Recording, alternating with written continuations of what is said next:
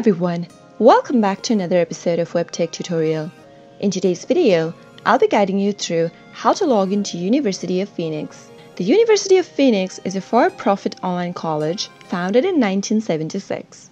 The school confers certificates and degrees at the certificate, associate, bachelor's, master's, and doctoral degree levels. If you are a student of University of Phoenix and you want to log into your account, start by opening a web browser.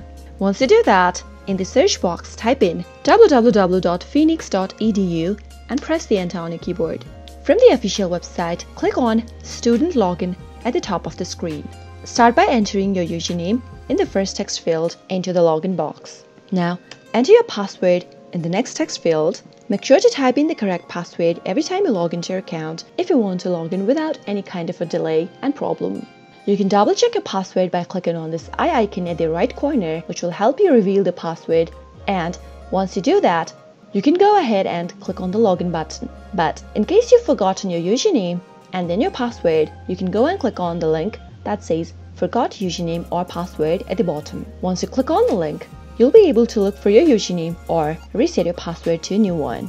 Once you have your password and username correct, click on the login button and you'll be logged into University of Phoenix account. That is how it is done. I hope the tutorial was helpful to you. If it was, go ahead and give it a thumbs up. Feel free to comment down below in the comment box if you have a question or a feedback for us. I'll soon be back with more tutorial episodes. Goodbye till then.